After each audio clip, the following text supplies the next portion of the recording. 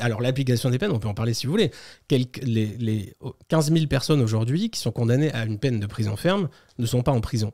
Ils ont un bracelet à la cheville, ils ont un pointage à faire au commissariat, etc. Et on appelle ça de la prison ferme. Et ça, c'est aussi par rapport aux victimes un énorme manque de respect, enfin, d'humanité, de tout ce qu'on veut, de dire votre agresseur va aller en prison et en réalité on ne l'y envoie pas. Ça, c'est une, c'est à mon avis une erreur énorme que, que, que, fait le système judiciaire et qui crée évidemment une crise de confiance euh, absolument euh, délirante, notamment vis-à-vis -vis de la police. Aussi.